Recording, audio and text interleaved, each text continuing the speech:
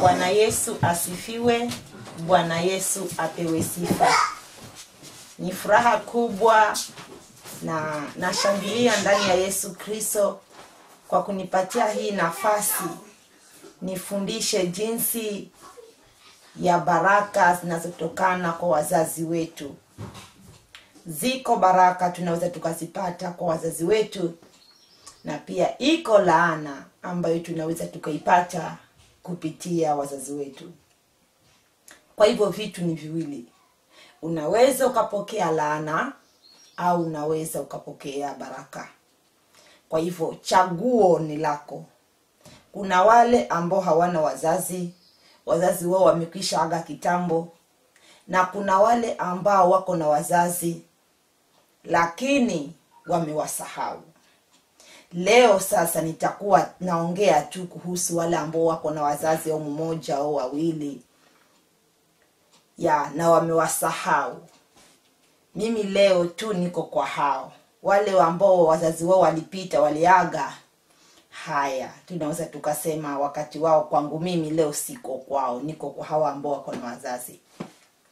Kwa kweli, mpendwa, iko baraka kubwa kwa kumheshimu mamako na babako, na iko laana kwa kutowaheshimu. Maandiko yanasema ya kwamba tuwatii wazazi wetu, tuwatii wazazi wetu. Kwa hivyo acha nisome maandiko, usiseme ya kwamba Masi amejiongelea. Aa, acha nisome maandiko ujue ya kwamba iko baraka na iko pia laana kupitia kutowaheshimu wazazi wetu. Kuna wazazi wengine nao ni wachokozi, wanatufanya tu, inakuwa ngumu kuwapenda, inakuwa ngumu kuwaheshimu lakini Biblia linasema jipeni moyo katika Bwana, maana mmekwisha shinda. Kuna wazazi wengine wanaweza wakufanya hata ukasema nitamblock huyu mzazi wangu, au nikimwona kwa barabara sitamsalimia, kwa sababu anakupitishia hali ngumu. Lakini hivyo hivyo bibilia linasema mpende hivyo hivyo maana kwa nini haukupewa mzazi tofauti na huyo?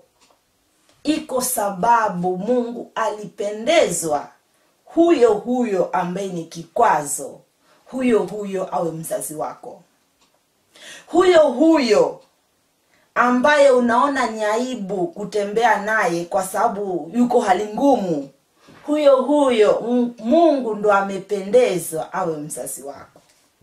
Kwa hivyo iko baraka fulani unaweza ukaipata kupitia wazazi, na pia kuna ulinzi fulani wa Mungu mwenyewe utaupata kupitia wazazi.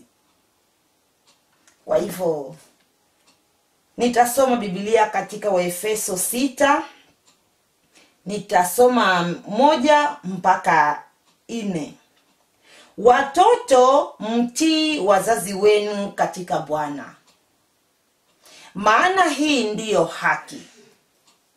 Watoto, mtii wazazi wenu katika Bwana, maana hii ndiyo haki. Biblia linasema ya kwamba Mungu hukaa anapendezwa na mwenye haki, na mwenye haki ajapoanguka hata mara saba atasimamishwa tena. bibilia limesema mwenye haki wangu akianguka mara saba nitamsimamisha tena. Na hapa tukisema bibilia linasema maana hii ndiyo haki. Kwa hivyo inaonekana kuna ulinzi fulani wa Mungu utakuwa ndani yako, na kuna vitu fulani utavipokea direct kutoka kwa Mungu kupitia wazazi wako maana amesema hii ndiyo haki. Watoto, mtii wazazi wenu katika Bwana, maana hii ndiyo haki. Kwa hivyo inakujulisha kabisa, ujapovamiwa katika ulimwengu wa roho, uko ulinzi fulani wa Mungu utakutetea. Ujapoanguka, bibilia linasema mwenye haki wangu ajapoanguka mara saba atasimama tena. Maana yeye yuko na haki ya kusimama tena. Maana yeye anampendeza mungu. Huwezi kusema ya kwamba yesu ni bwana. Asante mungu wangu yule mungu ambaye hujamwona na macho. Asante kwa kuniumba yule mungu ambaye hujamwona na macho. Lakini yule mzazi ambaye alikusaidia al, al, al, alikubeba ukiwa tumboni kwa miezi tisa wakati mwingine halali anakesha. Yule baba naye ulipotoka kwa tumbo halali mtoto wangu atakula nini? Mtoto wangu atavaa nini? Umewasahau. Umeshikilia mungu ambaye hujamwona hii ni haki kweli? Bibilia linasema hiyo ndiyo haki. Maana mpende huyu mzazi unayemwona kwa macho kwanza. Alafu ukiomba kule mbinguni kutakuwa kuna breakthrough kule mbinguni. Maana yule mzazi wako ambaye unamuona kwa macho anafurahia vile unavyomfanyia. Kwa hivyo yule ambaye hujamwona kwa macho unafanya kusema maandiko unafanya kumfili kwamba yuko mungu. Inakuwa rahisi kwa huyo mungu kushuka kwa ajili ya maisha yako natumai umenielewa. Natumai mpendwa umenielewa. Heshimu baba yako na mama yako. Hii ni amri ya kwanza yenye ahadi. Heshimu baba yako na mama yako. Hii ni amri ya kwanza yenye ahadi. Bibilia limesema ukiwaheshimu hii ndo amri ya kwanza ambayo iko na ahadi. Yaani kuna vitu umeahidiwa uvipate maishani. Kwa hivyo unapowaheshimu baba na mama hii amri ita, itafanya nini? Itafaulu maishani mwako. Kuna vile vitu shetani anaweza akakupinga. Akasema huyu akiwa atuki, tuki, tukiachilia nyota yake ikiendelea atakuwa wa baraka kwa familia yake. Kwa hivyo e, anakutenganisha na wazazi wako ili ile ahadi ambayo mungu amekuahidia uikose. So bibilia linasema ya kwamba hii ndiyo amri ya kwanza yenye ahadi so kama mwaka huu nimepangiwa nitanunua gari kwa sababu ya mamangu au babangu ako na mzigo na mimi labda hiyo gari nitainunua baada ya miaka kumi. Kwa sababu iko ahadi nimeahidiwa nitabarikiwa huu mwaka. Lakini kwa sababu babangu na mamangu wanalia machozi pahali siwaheshimu siwakumbuki tena unakuta hata nikipokea vitu havikai kwa mikono vinaenda. Nikilala sipati amani maana wazazi wangu hawana amani. Unakuta unakosa ulinzi wa mungu mwenyewe unakosa huo ulinzi. Hii ni amri ya kwanza yenye ahadi kwa hivyo kama tunataka ku- ku- kubarikiwa zile baraka zenye ahadi maana mtu ukizaliwa imekwisha andikwa mambo yako yatakuwa abcd hata katika ulimwengu wa kiroho wachawi na waganga huwa wanajua. Huyu mtu it, atafika wakati huu atakuwa abcd kwa hivyo tunapowatii wazazi wetu tunapowapenda wazazi wetu zile ahadi ambazo mungu ametupangia haziwezi epuka. Hata kama tutapigwa vita vipi haziwezi epuka. Maana wazazi wetu wako na amani. Maana wazazi wetu wako na amani. Wazazi wengine unaweza wafanyia kila kitu lakini hawana asante usichoke mpendwa. Endeleza maandiko. Usichoke. Unaweza tu ukamfanyia kila kitu na hata akiamka akachukua simu akakutukana tukana. Jua si, ye, si yeye anayekutukana bali shetani aliye ndani yake ndo anakutukana. Kwa hivyo msamehe na usonge mbele.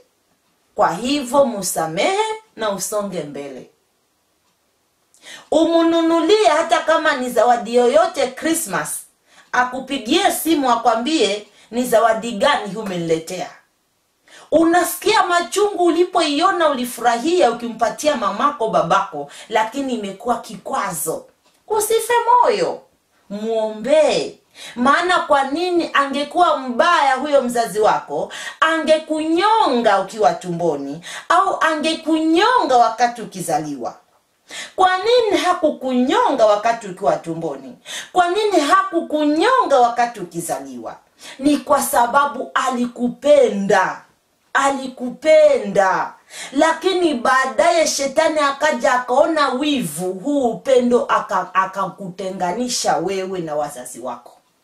Kwa hivyo hakuna amani kati ya wewe na wazazi wako. Si kwamba ni wazazi wako ni wabaya Ha, yuko shetani ndani ya huyo mzazi ambaye anajiinua wakati mwingine anajitokeza wakati mwingine kukutenganisha wewe na mzazi wako.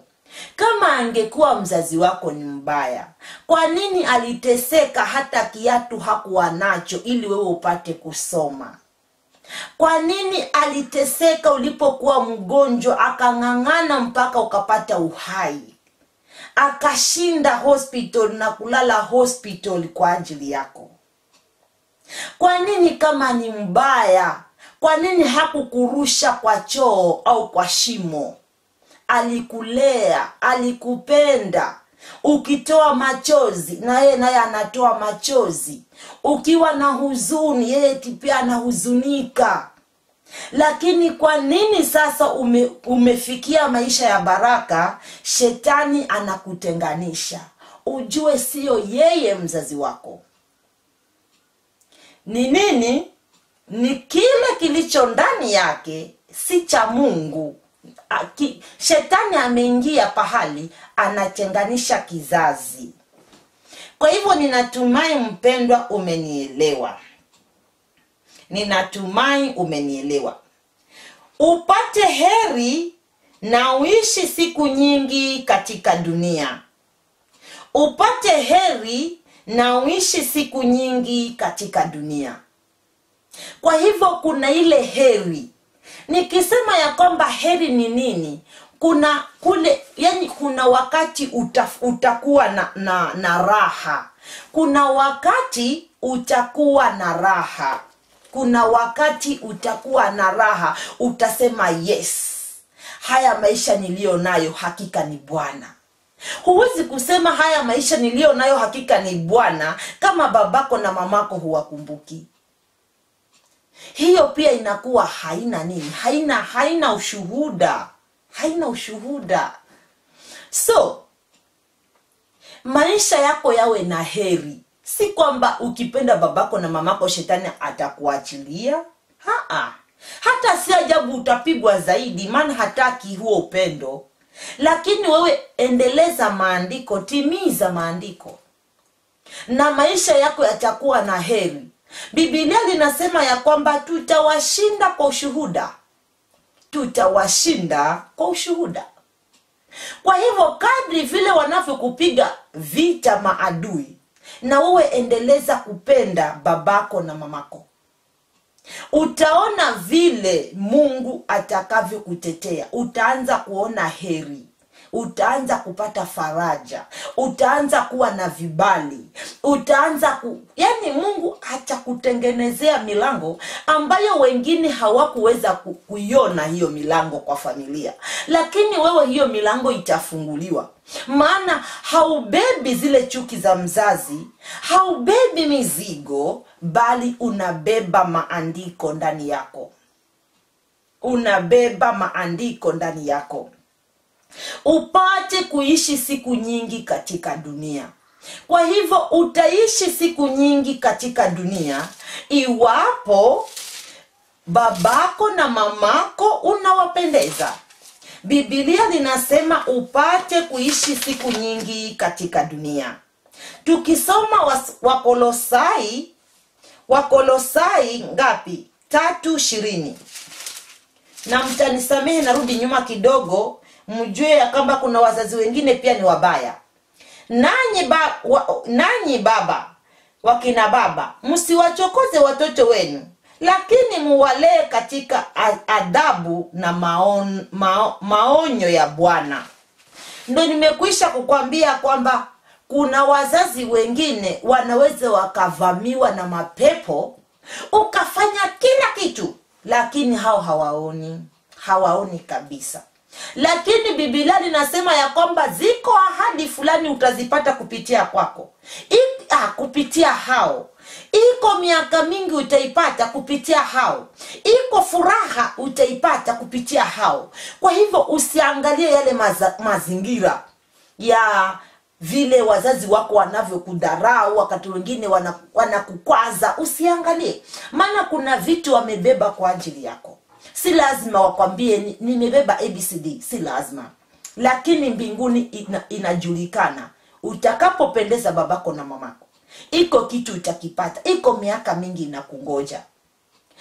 Iko faraja inakungoja. Iko ahadi inakungoja. Ahadi zako zitafaulu. Yaani mungu atahakikisha yale ambayo alikuwa amekupangia duniani unayapokea. So haya wakolosai tatu ishirini. Wakolosai tatu ishirini. Bibilia linasema bibilia linasema watoto mtii wazazi wenu katika maneno yote. Maana neno hili linapendeza katika bwana. Watoto mtii wazazi wenu katika maneno yote. Maana hii inapendeza katika bwana. Wakolosai tatu ishirini. Tuwatii wazazi wetu. Tukiwatii bibilia linasema inapendeza katika bwana. Inapendeza. Bibilia halikusema ya kwamba tunapowatii tutalaaniwa. Imesema inapendeza katika bwana. Inapendeza katika bwana. Huwezi kusema ya kwamba nampenda mungu. Nitatoa sadaka zote kwa madhabahu ni mungu yupi unayempenda? Ikiwa babako na mamako umewasahau ni mungu yupi? Nitamjengea mungu madhabahu. Ni madhabahu yapi yatakayokuwa na utukufu kama hupendi babako na mamako? Hmm? nitatoa sadaka ya kufunguliwa ili nifunguliwe niwe huru. Yes ni sawa kuna watumishi wengine watakwambia ukitaka kufunguliwa haya toa sadaka ya kufunguliwa toa sadaka ya kuvunja madhabahu.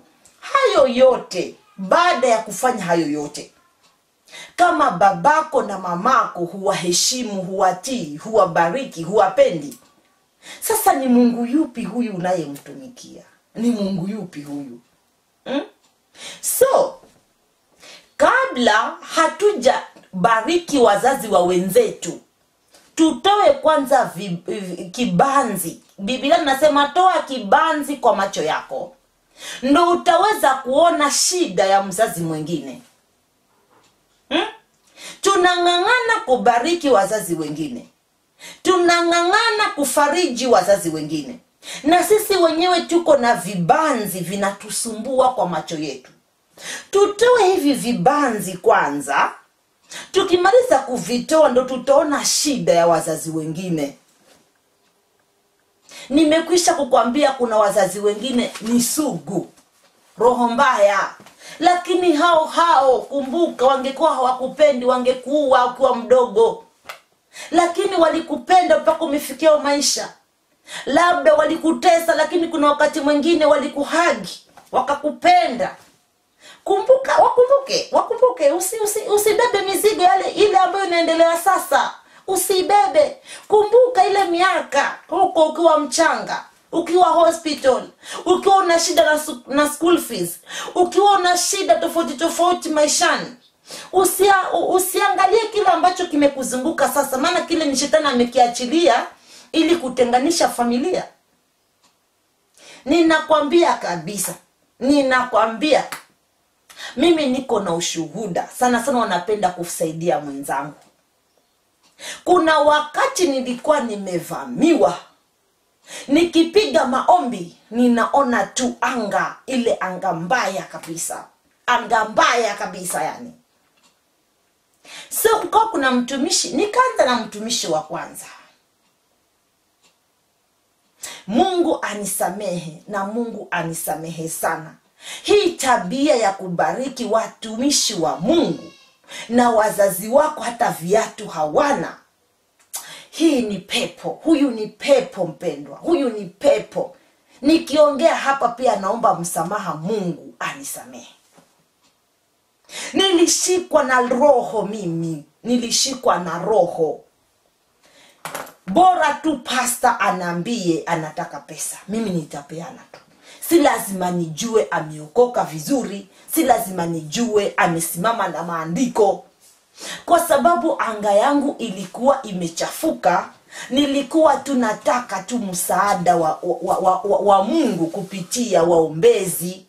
Mara na pia na pesa zangu kwa waombezi mara mapastas ikafika siku kile kilichonifanya nikaamuka nikawa nataka kumjengea mamangu nyumba nabii mmoja akanambia usimjengee mamako usimjengee. Nikasema kwa nini? Akanambia haa wewe shughulika na mimi kwanza. Yaani shughulika kuvunja madhabahu ufungue anga yako. Baada ya kufungua anga yako ndo unaweza kumjengea mamako nyumba lakini sasa ukisema unajengea mamako nyumba haita haitawezekana. Hmm. nikasema jamani sasa nitafanyaje? Nikamuuliza na hii sadaka ambayo kila wakati ninatoa inaenda wapi? Je inamjengea mungu madhabahu au inaenda kwa tumbo au inaenda wapi? Akanambia ukibariki nabii umekwisha barikiwa. Nikasema okay. Lakini kumbuka mtumishi wa mungu mamangu ameteseka kwa ajili yangu. Na kama hii anga yangu imechafuka labda hao mapastas ambao ninafanya ushirika nao wengine wananipiga maombi ya kinyume ili nisahau mamangu. Hata labda hao ndo wamechafua anga yangu akanambia roho wa mungu anasema usahau mamako kabisa. Wewe uendelee kubariki watumishi wa mungu. Wewe uendelee kujenga makanisa. Wewe uendelee kutoa sadaka. Na hivyo vitu vyote vitafungua anga yako. Nilipiga magoti mpendwa. Nikamwambia mungu inafu zinafu kama kwenda mbinguni lazima nijenge madhabahu kama kwenda mbinguni lazima nilishe mapastas kama kwenda mbinguni lazima ni, nibariki waombezi. Lakini mamangu aliyenizaa analala na njaa hata kiatu hana. Nikasema enough is enough. Lazima niamke. Nakwambia mpendwa kuna shetani utamshinda kupitia ushuhuda na uamuzi wako. Uamuzi wako ndo utafungua anga yako uamuzi wako ndo utaondoa hiyo anga chafu. Nilimbloki huyo mtumishi hapo kwa hapo na nikamjengea mamangu nyumba na hiyo nyumba ilikamilika. Na alini, aliniambia niendelee kutoa pesa ili mama ili e, kazi ya mungu iki, iki, kazi ya mungu ikiwa sawa haya naweza kufanya mambo ya mamangu. Nikaanza kujiuliza kama ni kununua viti nimenunua vya kutosha. Kama ni kumjengea mungu madhabahu nimejenga vya kutosha. Eh? kama ni kubariki watumishi wa mungu na wabariki itakushinda mamangu. Mbona hivi haviwi? Baadaye nikajua siyo kununua wokovu ndo kutakufanya wewe mungu akukumbuke. Wokovu mpendwa haununuliwi. Wokovu haununuliwi. Maombi hayanunuliwi. Jijenge wewe mwenyewe kwanza. Kama uko na bibi tengenezea bibi yako. Kama uko na bwana tengenezea bwanako. Kama uko na watoto tengenezea watoto. Kama uko na mama na baba tengenezea babako na, mama, ma, ma, na mamako jijenge wewe mwenyewe kwanza.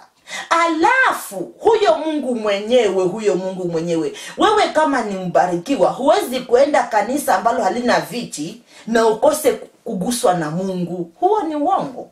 Mungu atakugusa. Kama ni vitu utanunua sana kanisani. Kama ni kujengia we, ma, kumjengea mungu madhabahu utajenga sana. Maana bibi yako ako na amani watoto wako wako na amani bwanako ako na amani mamako ako na amani babako ako na amani. Utazidishiwa. Kama ni kubariki watumishi wa mungu utabariki sana. Maana utakuwa kule kwengine wewe kule kwengine ni yes yes yes. Lakini kama kule kwengine ni no no no no no alafu unasema nitamjengea mungu madhabahu. Na mamako hana hata viatu. Babako hana hata viatu. Ni mungu yupi huyu unayemjengea madhabahu wewe? Hmm? so sitaingia sana lakini tukumbuke wazazi wetu. Na lengine ambalo na, nataka nikwambie mpendwa toa kibanzi kwanza kwa jicho lako ndo uone kibanzi cha mtu mwingine. Watumishi wa mungu ukiwa na shida ja, yule mtumishi ambaye si wa mungu atakwambia tayari uko na shida gani? Toa fungu la kumi. Yes kutoa fungu la kumi ni kawaida. Hiyo siwezi kupinga. Toa. Haya utatoa. Akwambie toa sadaka ya kuvunja madhabahu. Utatoa. Akwambie toa sadaka ya kupanda mbegu. Utatoa. Lakini je babako na mamako wana amani je bibi yako na watoto wako na bwanako wana amani? Hmm? kuna mtu alipokufa sijui maybe nimesahau lakini walimlilia mungu wakasema ya kwamba kumbuka alitujengea madhabahu. Kumbuka alitufanya alipenda familia yake kwa hivyo kuna maombi mengine mzazi wako akiomba bibi yako akiomba bwanako akiomba watoto wako akiomba lazima utafunguliwa. Na kuna hakuna uokovu wa kununua mpendwa. Hakuna pahali bibilia linasema yesu alipoombea mtu alimwambia nipatie pesa. Hakuna. Kwa hivyo kama uko na mzigo wa kumjengea mungu madhabahu utajenga kama uko na mzigo wa kununua viti kanisani utanunua. Kama uko na mzigo wa kumnunulia pasta gari utanunua. Lakini hii tabia ya mtu kuombea mtu na ku, kuambiwa hey, kitu kidogo ndo ufunguliwe. Hiyo huyo ni ajenti wa shetani. Achana naye tayari. Maana ukienda kwa mganga unaambiwa toa sadaka ndo nione mambo yako haya kama ukienda kanisani nako unaambiwa utoe kitu kidogo ndo mambo yako yaonekane. Sasa huyo ni ajenti wa shetani mpendwa. Kusema ule ukweli tuamke tukumbuke wazazi wetu tukumbuke bibi zetu tukumbuke watoto wetu tukumbuke mabwana zetu na mabibi zetu. Hapo tutapata amani. Lakini kama hatutawakumbuka wapendwa nakwambia utaendelea kununua uokovu na baadaye utakuja sema maskache alisema nikumbuke wale wale familia members niwakumbuke. Mungu akubariki. Naitwa maskache. Nampenda yesu. Nasema ubarikiwe. Na usonge mbele katika bwana. Ubarikiwe na kupenda katika bwana